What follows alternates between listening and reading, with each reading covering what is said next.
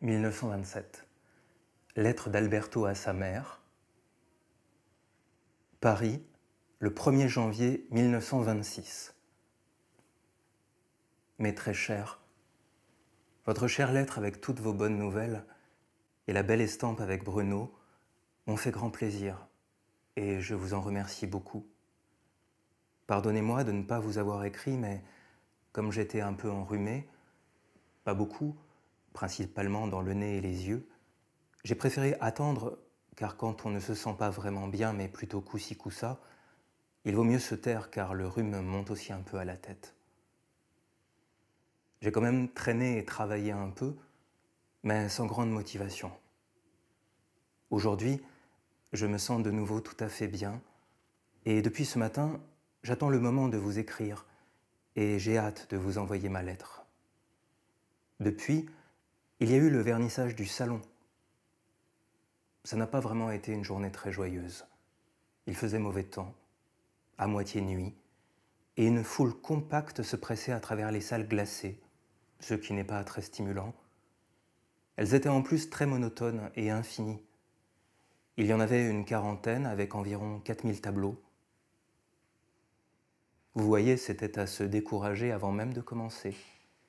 Et puis, pour mettre le moins de variations ou d'esprit possible, tout était scrupuleusement exposé par ordre alphabétique, de sorte que c'était évidemment un fouillis indicible, surtout quand on pense que sur les 4000 toiles, au moins 3800 sont très très médiocres. La sculpture, c'est pareil. Moi d'ailleurs, je peux me réjouir que jusqu'à un certain point, car dans un ensemble pareil, on ne peut qu'être noyé. Ma salle n'est pas splendide, mais je suis exposé au milieu. On peut voir mes choses sous tous les angles et on les voit. Au début, je voulais exposer deux torses, mais comme il n'est pas prudent d'envoyer deux choses à peine finies sans les avoir vues à tête reposée, j'ai préféré les garder pour les Tuileries. Ce sera aussi mieux pour l'ensemble.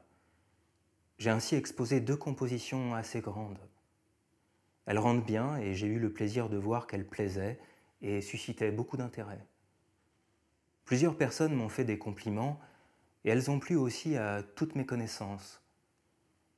Je suis tout à fait certain qu'elles font partie des rares choses intéressantes du salon, ce qui ne veut pas dire que je suis satisfait.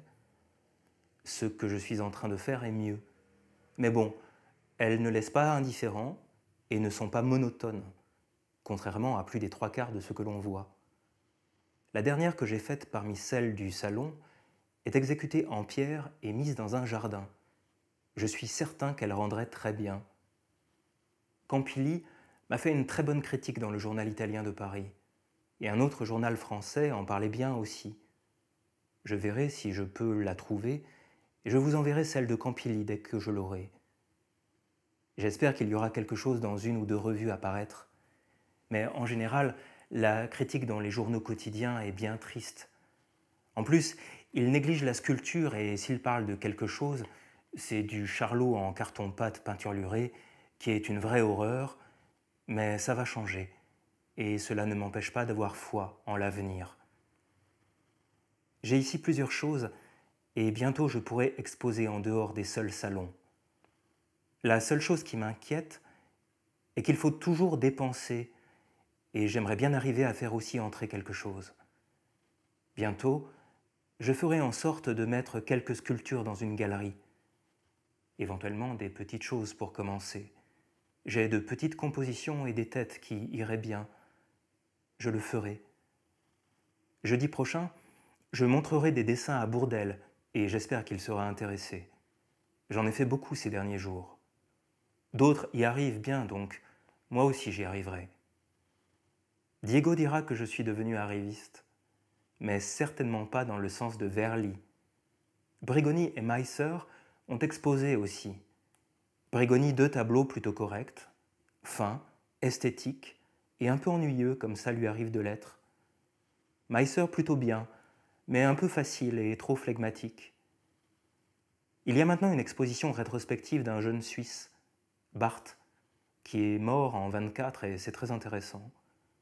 Il y a de très belles natures mortes, qui font encore un peu trop musée, mais il est certain qu'il n'aurait pas pu faire de la bonne peinture. Je n'ai plus entendu parler de l'exposition de l'américaine, mais l'autre jour, j'ai fait la connaissance d'un Suisse, critique et littéraire, euh, là son nom m'échappe, qui a demandé quand papa fera de nouveau une grande exposition comme à Berne et à Zurich. Et il a demandé aussi des informations pour venir quelque temps à Stampa, voir les tableaux et écrire quelque chose. J'ai aussi vu Meuchlin, mais là, il est reparti. Et l'excursion à ski, vous l'avez faite? Comme ça doit être beau maintenant là-haut avec du beau temps. L'hiver prochain, je viendrai moi aussi. J'en ai rêvé l'autre nuit. C'était Maloya, mais près de Paris. C'était carrément idéal. Mais en réalité, c'est mieux que ce soit loin.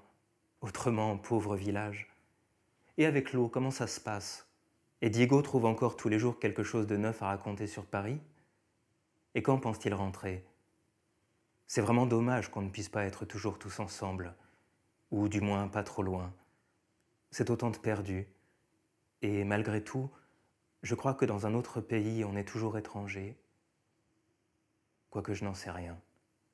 Mais je préfère m'arrêter. J'ai hâte d'envoyer la lettre et je vous laisse avec beaucoup, beaucoup de baisers à tous. Votre Alberto. J'écrirai aussi à Bruno. 1928. Lettre d'Anetta et Ottilia à Alberto. Stampa. 11 novembre 1928. Très cher Alberto, j'ai lu à l'instant tes bonnes nouvelles dans ta lettre d'aujourd'hui qui nous firent le même plaisir que d'habitude. Mais ton écriture gribouillée s'empire et cela ne me fait pas plaisir. Tu pourrais faire un effort pour écrire un peu mieux. J'attends toujours la lettre de Diego, mais en vain. Et, à ce qu'il paraît, toi non plus tu ne sais rien. Et ainsi, même si parfois je me fie à ma bonne étoile, j'ai mille pensées qui me traversent et je deviens inquiète. Du reste, Ottilia et moi allons bien, mais nous sommes très heureuses de partir mercredi. Il paraît que le tableau avance bien. Bruno est parti il y a déjà dix jours. Heureusement qu'il était ici à nous tenir un peu compagnie. Le temps s'est amélioré. Nous sommes passés de la pluie au vent et plus aucun froid.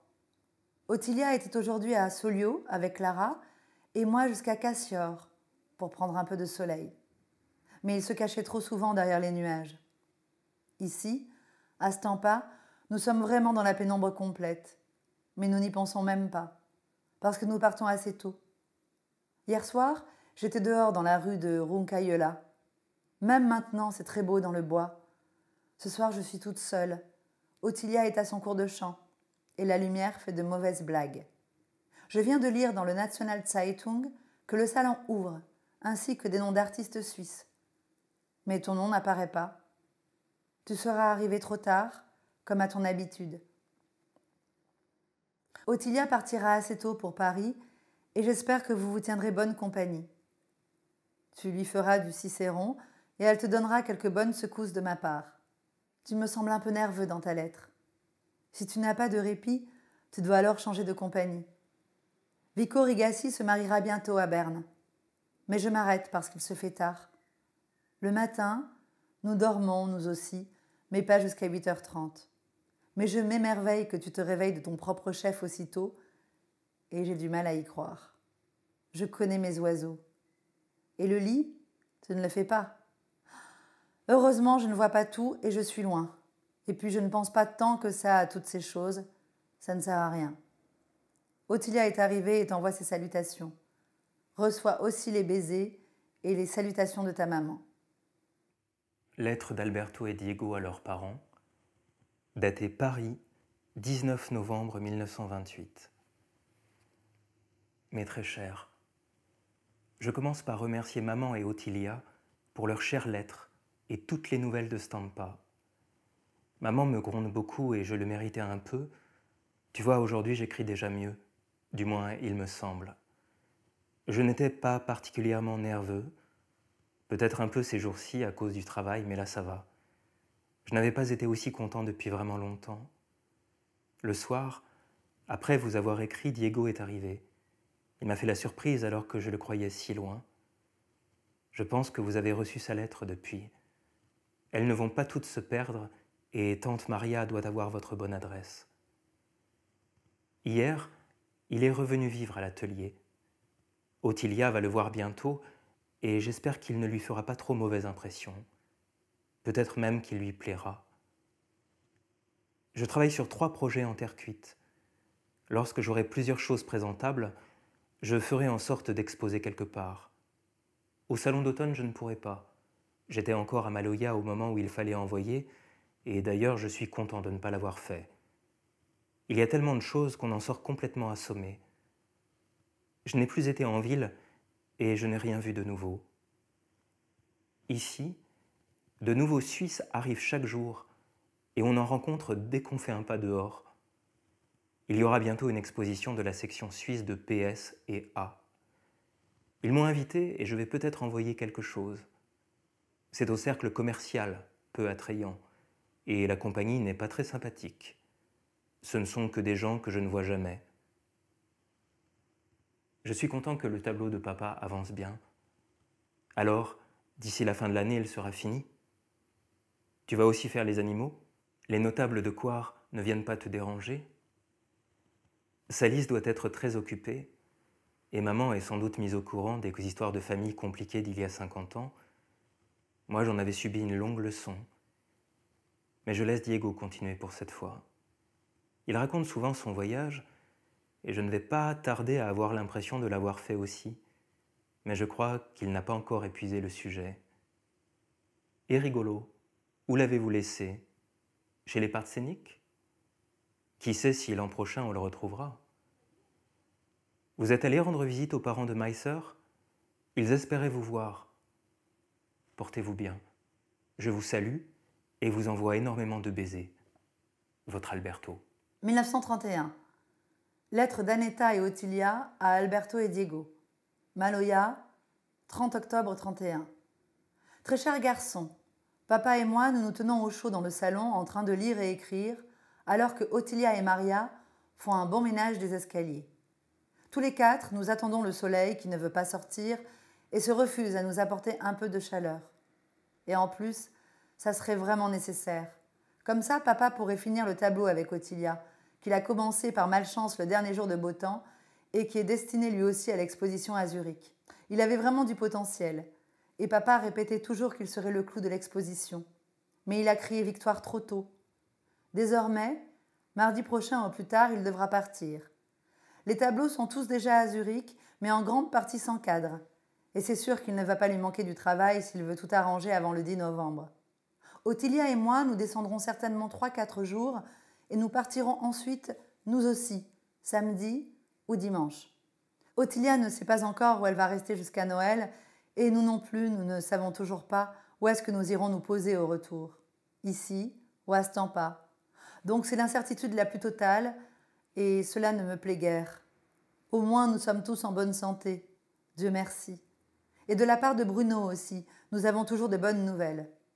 Heureusement, ce n'est pas le travail qui lui manque, et en plus il a en tête d'autres concours à passer qui s'ajoutent au travail habituel.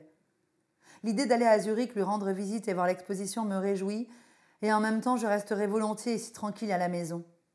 Le fait de bouger continuellement et de toujours plier bagages commence à me fatiguer. Comme d'habitude, nous avons lu avec grand plaisir vos chères lettres. Diego, pourtant, a très peu écrit. Mais en voyant la calligraphie toute fine d'Alberto, il a dû sans doute penser que c'était suffisant. Pendant que je lisais Alberto, c'était comme s'il était là, à côté de moi, en train de se plaindre. Vu que j'étais à Stampa, je n'avais pas lu la dernière lettre de papa, mais je ne pense pas qu'il était si préoccupé comme le pense Alberto. Je suis sûre que ça t'est arrivé à toi aussi de te rendre compte que selon les circonstances, nous voyons les choses plus ou moins favorablement. Nous espérons aussi que l'exposition aura encore une fois du succès. L'autre jour, Madame Conrad a rencontré Diego à la coupole, mais apparemment tu ne l'as pas reconnu. L'as-tu fait exprès, peut-être? Je me demande, enfin, nous y pensons parfois, si tu t'es procuré le nouveau costume et si tu es allé chez le dentiste? L'un dit oui, l'autre non, mais nous espérons tous que tu n'as pas peur d'affronter ce genre de dépenses nécessaires. J'espère que toi, Alberto, tu te lasseras de fréquenter ces compagnies communistes et que tu penseras à autre chose, comme tu le dis, ce qui sera sans doute plus sain et plus convenable pour ton travail. Entre-temps, nous espérons que ce monde chamboulé se remette tout doucement en ordre. Je crois qu'à Noël, vous allez volontiers vous réconforter dans ce havre de paix qui est malgré tout Maloya. Depuis plusieurs soirs, nous ne jouons plus, ni au jeu de dames, ni au Alma, ni en communauté, ni tout seul. Mais il me semble qu'Alberto s'inquiète sur ce point aussi. Je suis sûre que vous vous voyez souvent avec Gian Andrea et que vous vous tenez compagnie. Dis-lui bonjour de ma part. Je vous embrasse fort et vous envoie plein de baisers de la part de votre maman. Lettre d'Alberto et Diego à leurs parents. Paris, le 3 novembre 1931. Mes très chers, merci beaucoup pour vos lettres et vos bonnes nouvelles qui nous ont fait plaisir. J'espère que vous avez encore eu de beaux jours et que papa a pu finir le tableau d'Ottilia. Où le fait-il? Dehors? Ça me semble impossible par cette saison. On doit commencer à sentir l'hiver là-haut. C'est un grand tableau La figure entière Cette semaine, j'irai voir aux adresses qu'envoie Ottilia et j'écrirai dès que je saurai quelque chose. Mais je crois qu'ici, en ce moment, ce n'est pas très facile de trouver quelque chose dans ce métier. C'est sûr. Ce serait bien qu'elle vienne ici. Alors je verrai s'il y a quelque chose. L'autre jour, j'ai vu Alice, qui est là pour une quinzaine de jours. Je dois la revoir bientôt. Pour le reste, il n'y a pas grand-chose de neuf depuis la dernière fois. Nous travaillons toujours pour terminer ces grandes choses. Et dernièrement, j'ai fait des fleurs en plâtre que nous espérons pouvoir vendre avec Franck. Lui a fermé presque complètement ses ateliers. Espérons qu'il pourra reprendre un peu bientôt, mais qui sait quand. Nous voyons souvent John Andrea qui aide dans notre hôtel et qui passe son temps à lire dans sa chambre. À présent, vous devez être quasiment seul à Capolago. Je pense qu'après Zurich, vous irez à Stampa, où il devrait y avoir un peu plus d'animation. Mais j'ai beaucoup de choses à faire ce matin, alors je dois m'arrêter là et laisser Diego continuer. J'écrirai dès que je saurai quelque chose. Portez-vous bien. Je vous embrasse très fort. Votre Alberto. 1933. Carte postale d'Aneta à Alberto et Diego. Capolago le 17 juin 33. Très cher garçon, je suis maintenant ici si vous voulez m'écrire. Mais avant tout, écrivez à papa si vous ne l'avez pas encore fait et envoyez-lui la revue qu'il attend avec impatience, comme aussi vos lettres. Ainsi, il est plus heureux et cela lui fait mieux passer le temps.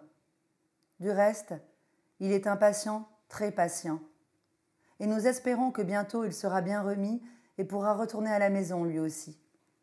Je suis seule ici, avec Maria, avec un temps horrible, du brouillard comme en automne, et plus froid que chaud, donc peu réjouissant.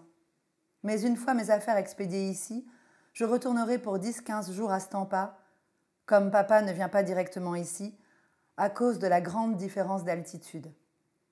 Je me suis arrêtée une journée à Zurich et j'ai vu tous les parents, loger chez les Forts et dîner chez les Acaria avec Bruno et Renato. Hier soir, j'ai téléphoné à Ottilia et nous nous entendions comme si nous étions là, à côté. Elle attend avec impatience le mois d'août. Et vous Comment vous allez avec vos triomphes? J'espère bien. Dego se sera peut-être logé. Et toi aussi, Alberto. Tu as raison de te prendre une chambre la santé avant tout. Si vous écrivez ou si vous avez écrit à papa, il m'enverra certainement votre lettre. Moi aussi, je suis toujours heureuse de vous lire, et de plus, ainsi vous me tenez compagnie. Demain, je ferai un saut dans la vallée pour voir la famille. Quantité de chères pensées et baisers de votre maman. Stampa, 11 juillet 33. Mes très chers garçons, avant d'aller dormir, j'envoie à vous aussi deux lignes avec la bonne nuit. Je rentre à l'instant du cimetière. Là, à côté de la tombe de notre cher papa, je serai très bien, très calme, si on me laissait seule avec mes pensées, avec lui, et avec vous, mes chers. Mais tous croient devoir me tenir compagnie. Demain soir et jeudi matin, nous irons en haut. Là-haut, je respire mieux. Ici, il fait très chaud. Du reste, je suis assez bien. Par chance, je dors toujours bien. Vous ne devez pas avoir de peine, car je suis courageuse et je veux vivre pour votre amour. Dans ma douleur, j'ai eu aussi beaucoup de consolation en plus de tous les témoignages d'affection et d'estime apportés à notre tant aimé papa. Je vous entends, vous tous, mes quatre chéris, bons, courageux et reconnaissants à la Providence pour toutes ces années vécues ainsi heureux et unis avec notre papa. J'espère que votre enfance vous restera dans une chère mémoire reconnaissante. N'oubliez pas que ceci est un grand don de Dieu. J'espère que toi, Alberto, tu seras arrivé sans encombre à destination et que tu pourras effectuer vite et bien tes affaires. Là-bas, il fera une grande chaleur et vous serez content de pouvoir bientôt vous échapper en haut. Si vous avez ensuite votre travail, vous serez mieux. Des lettres de condoléances arrivent encore toujours.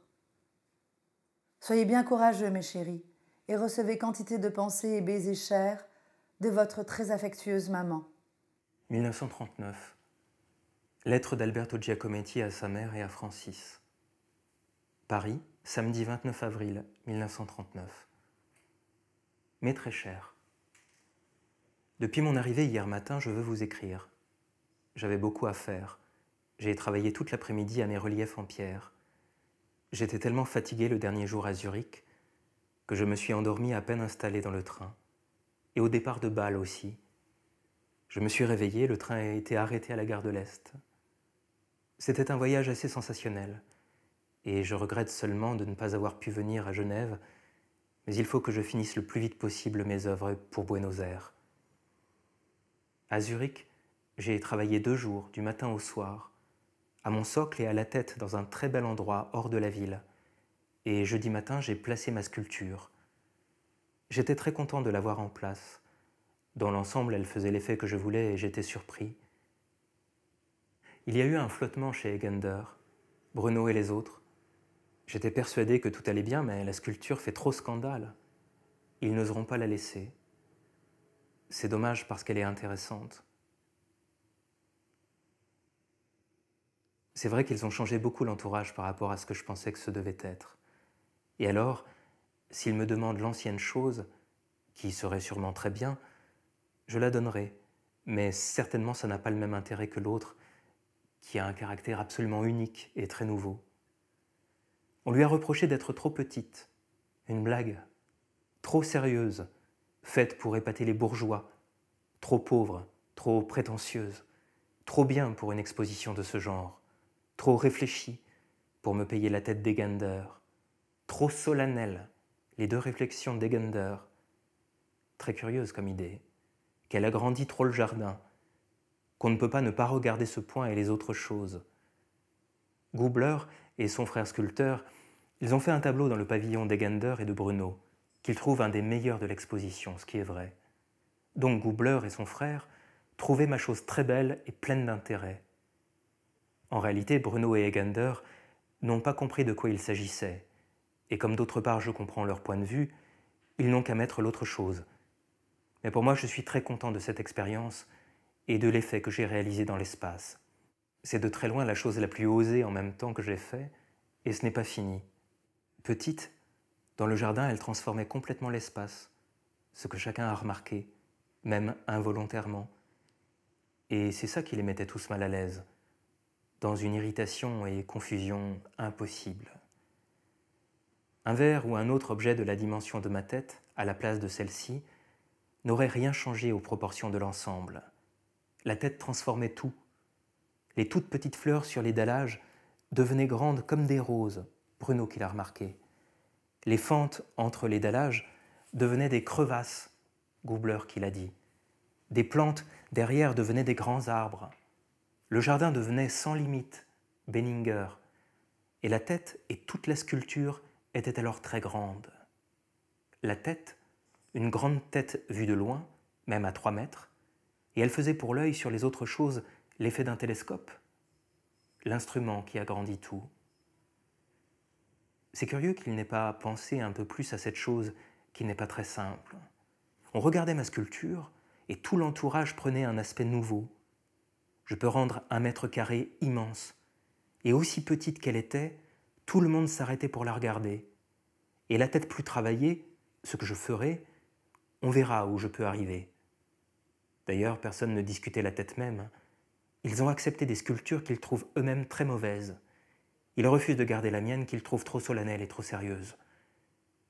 Vous voyez que c'est assez honorable pour moi d'être probablement le seul refusé de l'exposition, et refusé pour des motifs plus sérieux qu'ils ne pensent. La preuve, tout ce qu'on en dit et l'espèce de choc que ma chose provoquait chez tous, sans exception. J'en étais à la fin un peu effrayé moi-même. Malgré moi, cette sculpture est trop nouvelle pour qu'on puisse l'accepter sans se révolter. J'ai continué ici mon travail, et j'espère pouvoir vous envoyer bientôt des photographies de tête qui seront beaucoup plus avancées que tout ce que j'ai fait, et pas du tout dans les dimensions, parce que j'arriverai à ce que je veux. J'étais très content que toi, Francis, tu te sois réellement donné la peine de regarder et de t'intéresser à ce que je voulais faire. Après tout ça, j'admets que ma sculpture ne faisait pas l'effet qu'il voulait et que je trouve tout à fait justifiée, qu'elle est réellement très petite, même un peu plus petite que je ne voulais, et peut-être pas assez réalisée pour être compréhensible en général. Et maintenant je vais me coucher. Je vous écrirai bientôt de nouveau. J'espère avoir ce soir ou demain une lettre de Bruno. Diego va mieux avec son estomac, mais quelquefois il a encore un peu mal. Il a fait un très joli objet. Je vous embrasse tous les trois de tout mon cœur. Votre Alberto. Lettre d'Aneta à Alberto et Diego. Genève, le 28 janvier 1941, 3 février. Malheureusement, la lettre m'est retournée. J'espère que M. Sercan sera arrivé et vous aura porté de nos nouvelles. Mais bien cher, par la bonté de M. Sercan qui va bientôt pouvoir rentrer en France, j'espère tant que vous pourrez bientôt lire cette lettre. Dieu merci. Nous allons tous bien, mais nous attendons avec grande impatience de vos nouvelles. Ta chère lettre, Alberto, du 25 décembre, nous a fait tellement plaisir. J'ai lu et relu vos bonnes nouvelles. Peut-être que tu as embelli un peu la situation pour me faire plaisir. J'espère pas trop.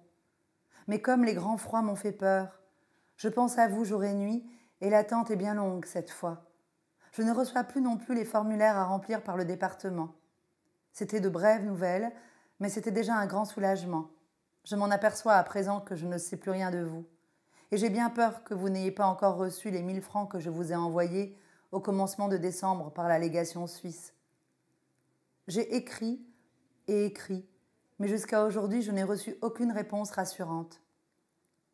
Prochainement, J'espère bien que vous pourrez avoir de l'argent par un autre moyen, c'est-à-dire par le beau-frère de Francis, Monsieur F.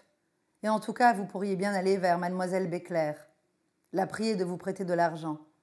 Je lui rembourserai intérêt et capital quand et comme elle voudra. Qui sait si vous avez reçu mes paquets? Au début de février, je vous en enverrai de nouveau. Mais c'est tellement peu de choses. Nous continuons notre vie comme d'habitude, et vraiment, nous n'avons pas à nous plaindre malgré les restrictions pour différentes choses. Malgré le grand froid, nous sommes assez bien chauffés dans l'appartement. Et les derniers jours, on a presque l'impression d'être au printemps. J'espère qu'il en sera de même à Paris. La neige a complètement disparu, mais nous en avions pour des semaines. Silvio a pu faire de la luge et Francis est sorti deux dimanches pour skier. Bruno est de nouveau en service pour le moment et Odette va monter à Maloya pour quelques semaines avec une amie dans les grisons, il a fait aussi horriblement froid cet hiver. Et ce ne sera pas encore fini. À Stampa, presque pas de neige. Maria va se marier le 8 février et elle serait bien heureuse si vous pouviez être de la fête. Avec l'autre mari, je m'entends aussi très bien. Elle fait tout le ménage, si bien que je n'ai pas à me fatiguer. Et notre Silvio est en général très sage. Il se donne beaucoup de peine pour bien parler le français.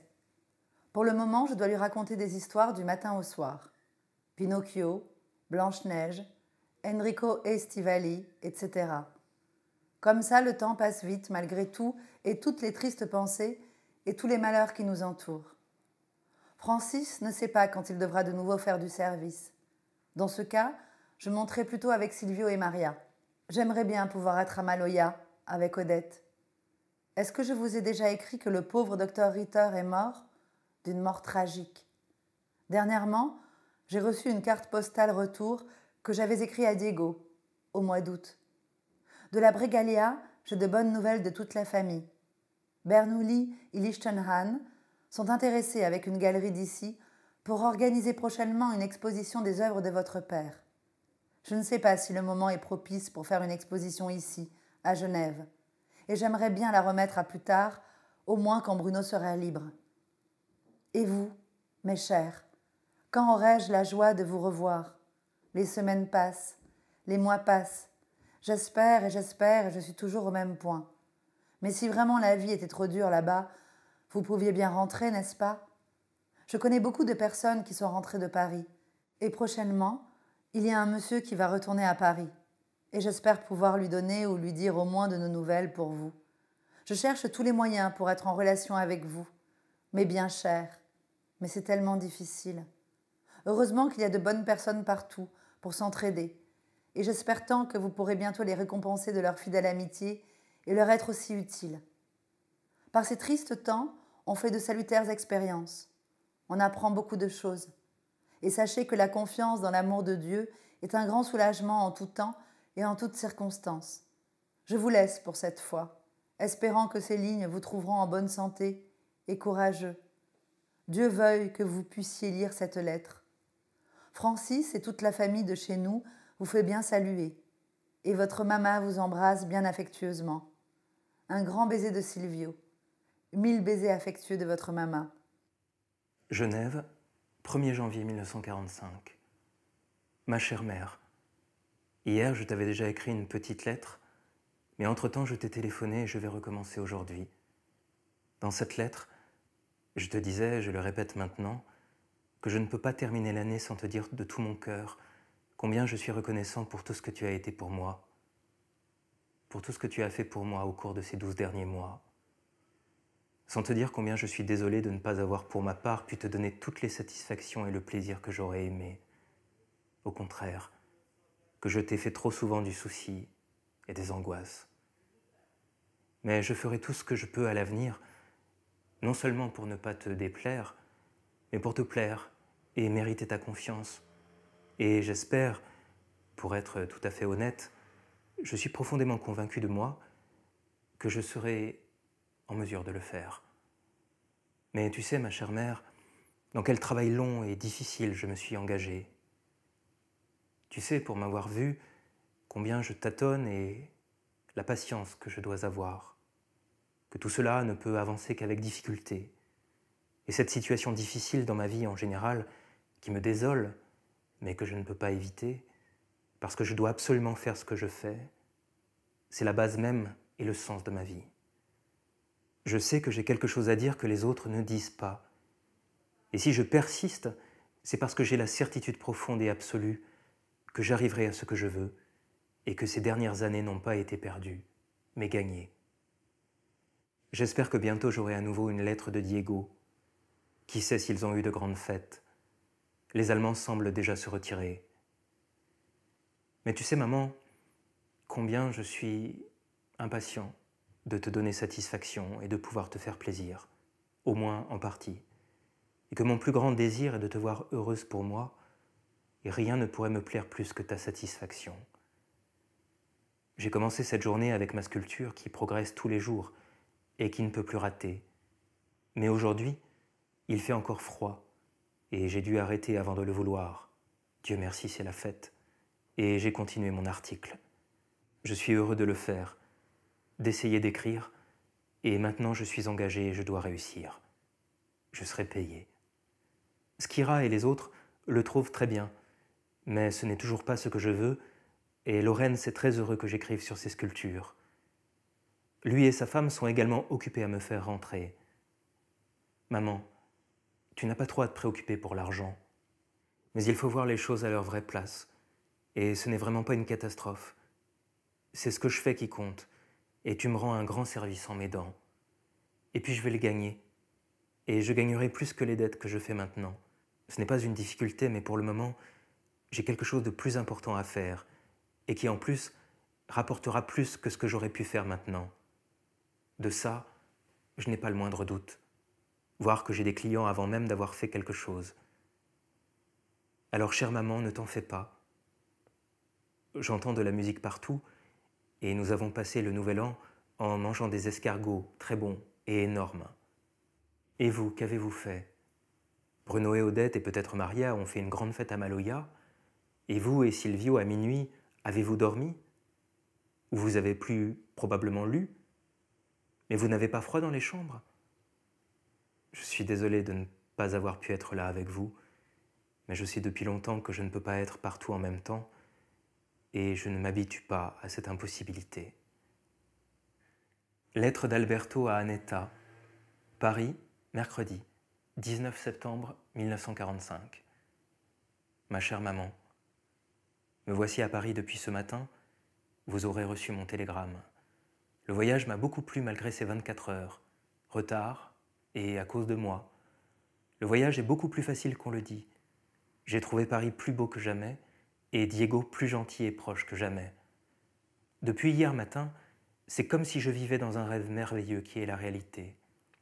Tu ne peux pas t'imaginer, maman, de l'émerveillement qu'est Paris après Genève et combien tout me semble agréable. C'est comme si je n'étais jamais parti. Je retrouve ma vie, je rencontre à chaque pas des connaissances, et tous me saluent comme si j'étais parti hier. J'ai un tas de choses à faire et une grosse envie de travailler. J'ai passé beaucoup de temps avec Diego qui fait tranquillement son travail, et tout le monde a une grande affection pour lui et il le mérite bien. J'ai eu un plaisir immense à le retrouver, et nous ne pouvons pas mieux nous comprendre. Il est heureux de mon travail et confiant. J'ai vu déjà plusieurs amis et un marchand de peinture qui a une belle galerie. Il m'a tout de suite dit, sans avoir vu ce que j'ai fait, qu'il est prêt à me faire ma propre exposition quand je veux, et autant ici qu'en Amérique. Je pense aux beaux jours que j'ai passés avec toi à Maloya et à Stampa, et je reviendrai. Je pense que Diego pourra partir bientôt, et il se réjouit de venir. Je t'écrirai dans les prochains jours, parce qu'il y a quelqu'un qui m'attend. Tout cela est beaucoup plus beau que je ne pouvais l'imaginer. Je mange mieux qu'à Genève, même dans les restaurants moins chers ici. Je dois te quitter. Très chère maman, tout va bien et reçois beaucoup de baisers de la part de Diego et de ton Alberto.